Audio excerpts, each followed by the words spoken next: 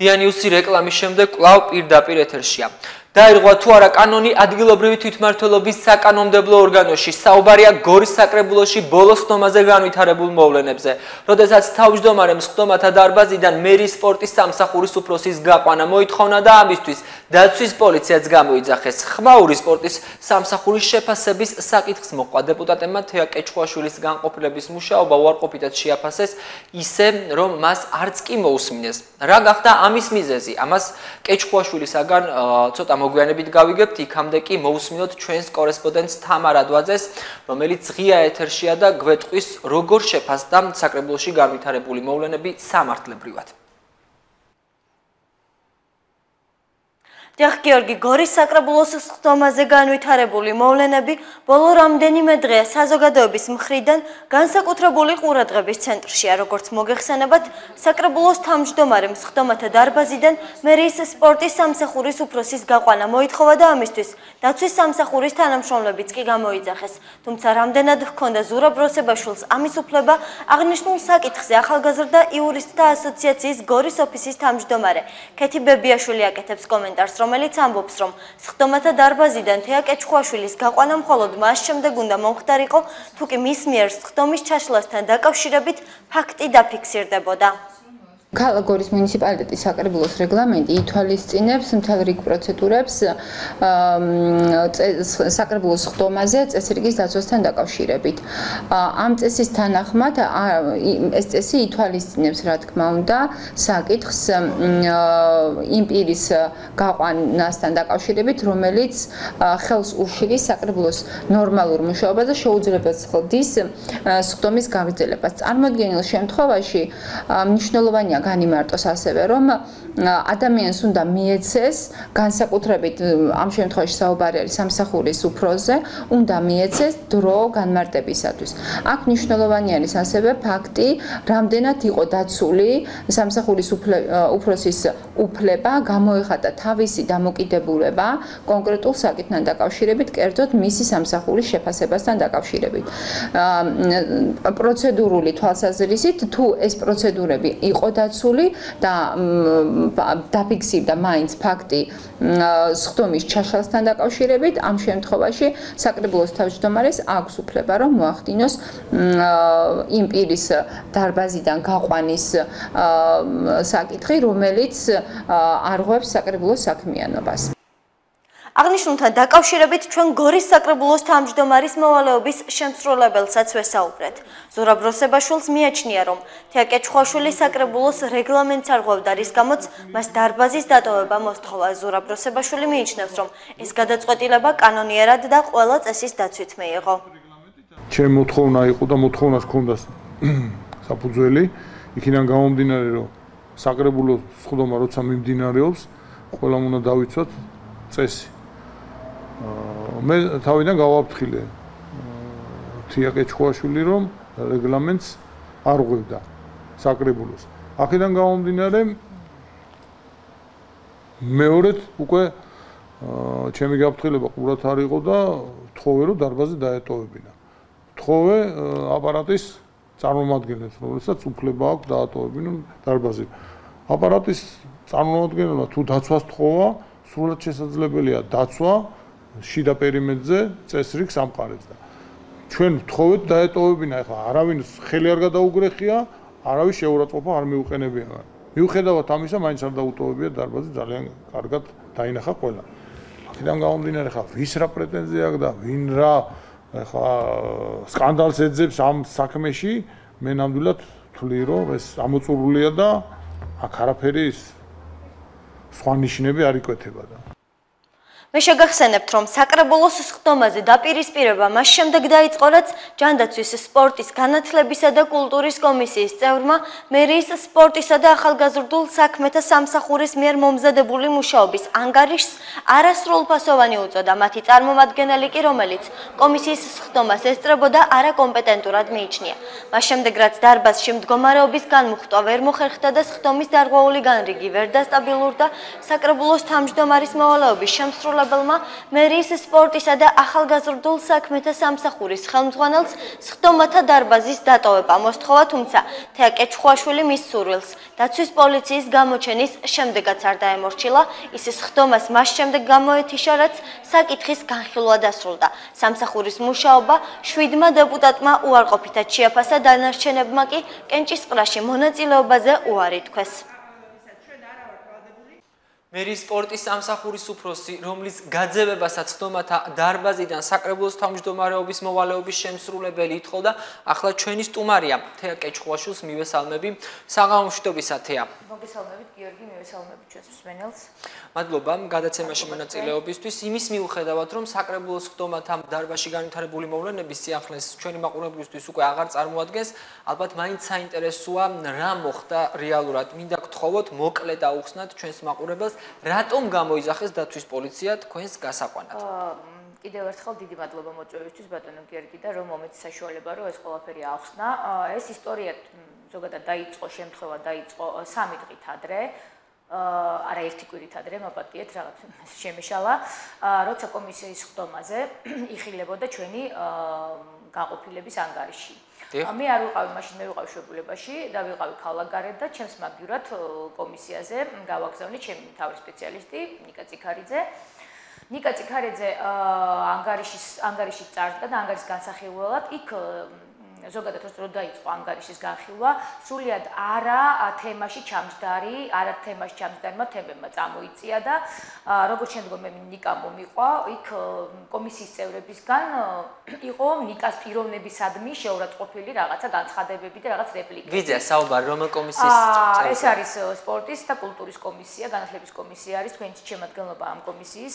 შემდგომ უკვე საკრებულოზე იგივე წევრები აქტიურობდნენ და ეხლა ჩემგან არ გესწავლებათ ვინ იყო არ და კარგი, თვალსაჩინო მაყურებელს ვეთქვა. კარგით, მაშინ ეს ყველაფერი დაიწყო ბატონმა რამაზიოსელიანმა, შემდგომ აყვა ბატონ გიორგი ამბოკაძე და წერტილი დაუსვა ბატონმა ვანო ჩხიკვაძემ. აი ეს კომისიაზე მიდიოდა განხილვა აი ამ ყველაფრის ანგარიშის და მე გეტყვით ახლა ის ზოგადად როგორ იყო სრულიად აბსოლუტურად მე ხა მე რო ყოფილიყავი მე გაკურებული ვიყავი როცა ნიკა მომიყვა რაც მოხდა იქ აი წარმოგიდგენია ჩე რო გიორგი ბატონო გიორგი თქვენ რო მაგალითად არიცნობდეთ სახეზე რო არიწოდეთ რომელიღაც ჟურნალისტი თქვა და რაღაცა რომ მოყოსდე და ჟურნალისტმა რო გითხრათ რომ აი ან რომ თქვენ იმიტომ ხარ ცუდი ჟურნალისტი მაპატეთ ავტოლოგისტვის რომ თქვენ მე არ მიცნობ სახეზე. ძალიან ბევრი ჟურნალისტი არ ვიცნობ ხო ხო ხო აი წარმოგიდგენიათ ესეთი რაღაცა რომ აი მიზეზად მოიგოს აბსოლუტურად ანგარიზა შორს წასული თემებიდან შემდგომ უკვე რომელიც უკვე საკრებულოს ხდომაზე გამოჩნდა მიცეს უარყოფითი დასკვნა იქ დასკვნა იდება შემდგომ. ეს იყო პირადი შეურაცხყოფა, ახლა მე აღარ დავაკონკრეტებ იქ, რომ რა იყო, როგორ უთხრეს, რანაირად. შემდგომ უკვე მე როცა უკვე იყო საკრებულოს ხდა, მე უკვე გამოსული ვიყავი სამსახურში და მე წავსდე კი საკრებულოს წინაშე. საკრებულოს ხდომა დაიწყო იმით, რომ იქ ერთ-ერთ პუნქტად რომ თქვა და ჩვენ არ ვაძლევთ ანგარიშო ხმასო, იყო რომ ჩვენ ორჯერ, ზედიზედ ორჯერ, ორი სამი თვის განმავლობაში დავაფინანსეთ ერთ-ერთ პუნქტად მე ვიმეორებ, იქ იყო რამოდენიმე მიზეზი, ანუ ანგარიშიდან სორს, ანუ გადაწეული გადახრილი მიზეზები რაღაც ზემოდან მოგონილი.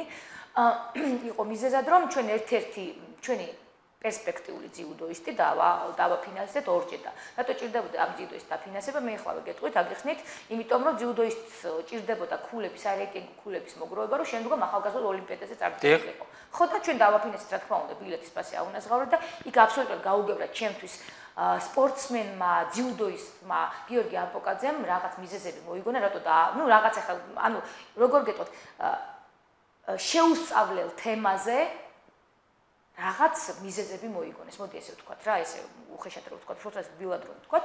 შემდგომ მე მთხოვე გურამ ძალაშულს ეს არის ძიუდოისტი რომ წამოსულიყო ჩემთან ერთად დასწრებოდა საკრებულოს ხდომას და ჩვენ გააგვემართა საკრებულოს წევრებისთვისაც და იქ ზოგადად კომისიის წევრებისთვისაც თუ რატომ დავაფინეს ანუ მე ვიყავი თემისთვის მზადებული რომ თუ თქვა ნიკამ რამეზე თქვა პასუხი ვერ გაცა კომისიის წევრებს მე დამესაგუთებინა მე ამიხსნა რა როგორ რანაირად და მზად ვიყავი მე რისთვისაც თქვა ძალაშულსაც თხოვე რომ მოსულიყო მაგრამ საკრებულოს ხდომაზე მოხდა ის რაც მოხდა.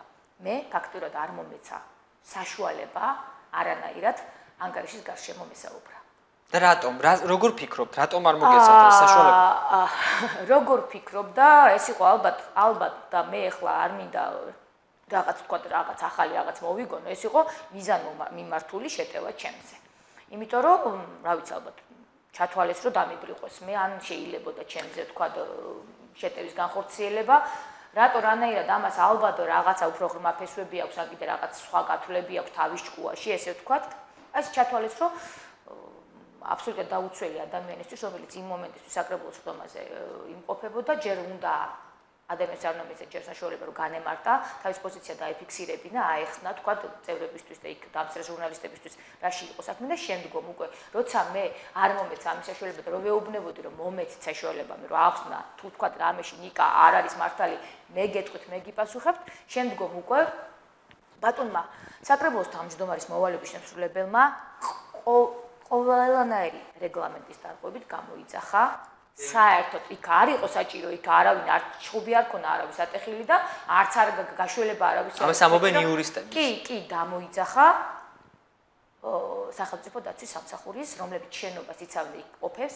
იქ მყოფებს იცავენ ანუ ჩვენ ასე ვთქვათ რაღაც ზედმეტი თქვენ გიცავენ და თქვენვე გაძევებთ კი ბატონო გამოიძახა სრულად კანონის დარღვევით გამოიძახა და საკრებულოს რეგლამენტის დარღვევით გამოიძახა სახელმწიფო თუმცა როგორც ჩვენც არის ცნობილი დაცვის პოლიციამ არ შეასრულა ეს მოწოდება. დაცვის პოლიციას არ ქონდა იმის უფლება რომ ჩემთვის რამე ფიზიკურად მომახლოვებოდა და რაღაცა რამენაირად თქვა ან ხელი ხელკავით ან რამენაირად. ну მე ჩვენ ძალიან ახლოს ვართ ამ წარმოგიდგენთ ყოველდღე რო ხედავთ ამ ბიჭებს და უბრალოდ არ ჩათვალა საჭიროთ არც მორალში მორალურად და არც ზნეობრივად და არც სამართლებრივად რომ რამე უბრალოდ იდგა ადამიანი გვერდით აბსოლუტურად ადამიანის შეძლო სამსახური დაეკარგა. კარგი. ალბათ არ ვიქნები მიკერძებული თუ კითხავთ მაშინ როდესაც გორს დანარჩენი საქართველო და არა მარტო საქართველო, სწორედ სპორტის დამსახურებით იცნობს, საბჭოთა დიქტატორს თუ არ ჩავთვლით, ხდება ისე რომ საკრებულო იწუნებს თქვენს მუშაობას. იმ სამსახურის, რომელიც გორში სწორედ პორტის განვითარებას ემსახურება. მაინც რა არის ამის მიზეზი? პირველი კითხვა, თქვენ ხვდებით, რომ აი ამ ყველაფერი, აი ამ შედეგებისა, რომელიც არის თვალნათლივ, ანუ სოფლიო ჩემპიონობა, ოლიმპიური ჩემპიონობა და იმის იქით კიდევ ქვემოთ რა ხდება, ანუ უფრო დაბალ ბავშვებში რა ხდება და რამხელა წარმატებები აი ამის ფონზე, როცა როცა სტორი პოლიტიკა ტარდება ზოგადად ქალაქ გორში სპორტის მიმართულებით აი ამის ფონზე აი სხვა რა არის? ბატონო გიორგი თუ არა ადამიანზე ერთ კონკრეტულ ადამიანზე სპეციალურად თავდასხმა. აი სხვა რა უნდა იყოს? თქვენ არის რა ხდება? მე რო არ ჩავთვალო ხა პირადად ჩემი დამსახურება გენოპეტრიასის სოფლიო ჩემპიონობის და ვლადიმერ ხინჩეგაშვილი შეიძლება არის რაღაცა 0.0 რაღაც პროცენტი მაგრამ იქ კალად ბურთი თქვა 18 წლამდელების და 20 წლამდელების იქ გოგონების წარმატება, იქ ფრენბურთელი ბიჭების წარმატება. არავის არ უკითხავს ამაზე, რომ თქვა აი ამის ფონზე რატომ მოხდა. კი ბატონო, იქ ანგარიში ბატონო გიორგი თვალსაჩინო ვაცხადებ, არავის არ აინტერესებს. კარგით. აა მე მინდა კიდევ დავუბრუნდე ამ საკითხს. აა დეპუტატებმა არ მოიწონეს თქვენი სამსახურის მუშაობა და რა?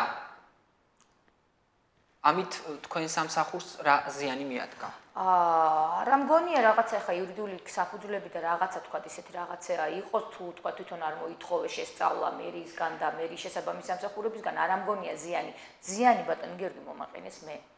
რატო იცი რატო გეტყვით? იცით იქ იქ იყო მე შორს გამიზნული მესიჯები რომ ჩემ განყოფილებაში მარტო მე ხوار მუშავ იცით რა ის ძალიან კაი ბიჭია. ჩვენ შენთან არ გვაქვს თქვა არაფერი პრეტენზია. ის ძალიან კაი გოგოა არა აქვს. იქ ვიღაცა კიდე ძალიან კარგი არის. მიხვდით? ეს იყო მიზანმიმართული შეტევა ჩემზე. გასაგებია საინტერესოა რატომ მაგრამ ალბათ ამ ამ კითხვაზე პასუხს თქვენგან ვერ მივიღებთ. ქაბატონოთია, მე მინდა მოგცეთ საშუალება, რომ მოკლედ გვითხრათ თუ რა თუ როგორ განვითარდა ბოლო წლების განმავლობაში, აი გორში მაგალითად სპორტის სხვადასხვა სახეობები, ის რის საშუალებაც არ მოგცეს თქვენ ადგილობრივი თვითმმართველობის საკანონმდებლო ორგანოში, მინდა მოგცეთ ჩვენ გაცილებით დიდი აუდიტორია გისმენთ. კი ბატონო, დიდი მადლობა გიორგი, აი ამ მოცემული შანსისთვის ძალიან დიდი მადლობა და საერთო დროსთვის რომ მე მაძლევ საშუალებას რომ ეს ყოველთვის მოდი მოკლედ ვიტყვი ბატონო გიორგი. არ ყოფილა არც ერთი შემთხვევა სან როცა ჩემი თანამდებობაზე ყოფნის პერიოდში, ანუ რაც მე ვიკავებ სპორტის განყოფილების უფროსის პოზიციას, რომ რამე მომხდარიყოს გორში, ისე რომ მე არ მწოდნო და ან კიდე მე არ მეხაროს და ან კიდე მე არ მიმეღოს რაღაცა წილობრივი საშუალება. მოდი დავიწყებ იქიდან. გორის დილას ჩემპიონობა. მე კიდევ ვამბობ, რომ ეს ჩემპიონობა კიდევ სხვა და დიდი მადლობა მწვრთნელებს და ვინც იმუშა, მაგრამ ეს არის სწორად გამიზნული პოლიტიკის შედეგი. სწორად, ანუ მე ვამბობ, რომ ბატონი ზურაბის სწორი პოლიტიკის და შემდგომ უკვე ყველა იქ ჩართული ადამიანების ხელშეწყობის პოლიტიკაში. მეორე ადგილი ფრენბურთში ბატონო გიორგი ვაჟებს შორის, რომელიც გორის ისტორიაში არაბის არ ახსოვს, ეს იყო 16 წლამდელი ვაჟები, 18 წლამდელების სამეული, ჩვენი გოგონა 4 ჩვენი გოგონა, 4 ჩვენი კალათბურთელი გოგონა, როგორც არასდროს საქართველოს ნაკრების წევრები არიან და ჩვენმა გოგონებმა მეორე ადგილი მიიღეს. მოდი მე არ დავი არ დავიბრალებ ამ ყველაფერს, მაგრამ ეს ხო ჩემ დროს მოხდა. კიდე იქ უთვალავით საქართველოს ჩემპიონი თქვა გუშინ ახლა კაგერ კადეტ კადეტმა ბავშვმა თავისუფალ სტილით მეორე ადგილი მოიპოვა გოგონა თავისუფალ სტილით მოჭიდავე რომელიც პირველად გორის ისტორიაში იგივენაირად მეორე ადგილზე გავიდა აი რამდენი ერთ უბრალოდ ჯიქის ჩემპიონობა ჯიქის ჩემპიონობა იგივე ხო ჩვენი ოლიმპიელების გამარჯვება თქვა ჩემი დამსახურება შეიძლება არაფერი არ არის მაგრამ ხო ვამბობ ეს ხო მოხდა ეს ხო სპორტია ეს ხომ მოხდა? აი როგორ შეიძლება ამას ყველაფერს ადამიანმა გვერდი აუაროს და თქვას, რომ ხო, მაგას თავს დავანებებ, შიდა ღონისძიებები თქვენ იცით, მე თითქმის თვეში ერთხელ ბატონ გიორგისთან ვარ ჩილინასთან, ხო? თუ არაფერს არ აკეთებს მერი სპორტის სამსახური, რატომ ეძახიან? თუ არაფერი სათქმელი არ მოხდა, თუ არაფერი საამაყვარნობს, რატომ ეძახიან? ხო, ეს ხო ბუნებრივი არისა რა. აქედან გამომდინარე, იგივე თქვენ იცით, თქვენ ჩართული იყავით ჟურნალისტები, ღონისძიებები, უამრავი ღონისძიებები, შიდა თუ ეს სახალისო ღონისძიებები, რამდენ რამდენი ესეთი. და აი ამ ყველაფრის ფონზე ხდება ის რაც ხდება რომ პირველად მე მგონი ამ რაღაც ერთი შემთხვევა იყო იქაც რაღაცა პატარა სამსახურის მუშაობა თქვა განყოფილებსა დაიწუნეს და შემდგომ იყო სპორტის. აი უბრალოდ უნდა გაიღიმო ადამიანს კარგით, გამოწვევებზეც მინდა კითხოთ, რა გამოწვევების წინაშე დგას დღეს თქვენი სამსახური, რა არის მოუგვარებელი პრობლემები ალბათ სპორტის მიმართულებით, რაზეც მუშაობთ? ჩვენ სხვათა შორის ძალიან კარგი დავიწყოთ უკვე შედის საბოლოოდ რეაბილიტაციის რამდენი რამოდენიმე სტადიონი ღა დარჩა. ეს გარემინი სტადიონების ეს არის ძალიან დიდი საქმე იმიტომ რომ მე ამას წინათ შემოვიარე თითქმის უყოლა რომელიც ასე თუ ისე დამთავრებულია იქ რამოდენიმე სტადიონი არის დამთავრებული. უნდა ნახოთ რამდენი ბავშვი არის ამ სტადიონებზე არის ადგილები თქვა მაგალითად კომბინატის დასახლებაში და ვერხობის დასახლებაში, სადაც სტადიონები არის სამი უნივერსალური, ანუ კალათბურთის, ფეხბურთის და ფრენბურთის სტადიონი. ფეხბურთისაზე ხელბურთით შეიძლება ეს რამხელა საქმე. ეს ხო მასობრიობას თავის თავად გაზრდის და ბავშვების სპორტში ჩართულობას და ნუ ჯანმრთელი ცხოვრების წეს.